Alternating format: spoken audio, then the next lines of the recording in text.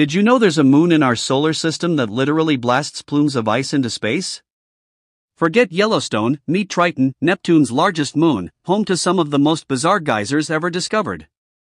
When Voyager 2 flew past Triton in 1989, it captured images of dark streaks on its south pole.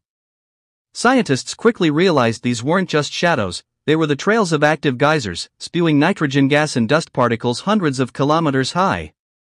Imagine an ice volcano, but instead of lava, it's nitrogen.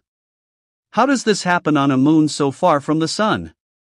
The leading theory suggests that Triton's surface has a layer of translucent ice. Below it, darker material absorbs faint sunlight, slowly heating trapped pockets of nitrogen ice.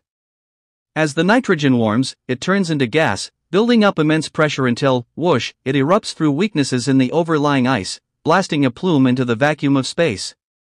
These active, cryovolcanic plumes make Triton one of the most geologically dynamic objects in the outer solar system. It hints at possible subsurface activity, perhaps even a hidden ocean beneath its icy crust. Triton's geysers are a stunning reminder that even in the frigid, distant reaches of our solar system, incredible alien activity is still unfolding. Absolutely wild, right?